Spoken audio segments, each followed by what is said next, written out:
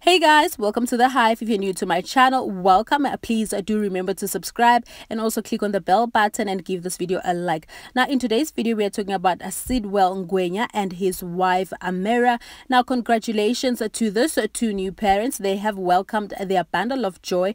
They took to their social media to share the news. Now, they shared that they were expecting their first baby this this year, and we were so happy for them, very excited, honestly. Now, the wife took to her social media to write the following. Great things start small. Baby Ngwenya is here. Now, this is very exciting, guys. They've been posting pictures of the baby. Of course, the face has been hidden, so we can't really see. Now, in a baby shower that they shared on social media, they revealed that they're having a baby boy. However, the baby's clothes are very neutral, so we can't tell if it's a boy or if it's a girl um whichever the gender is i am genuinely happy for them guys. What you guys think? Please remember to drop your comment. Thank you for watching. Bye for now. See you guys in the next video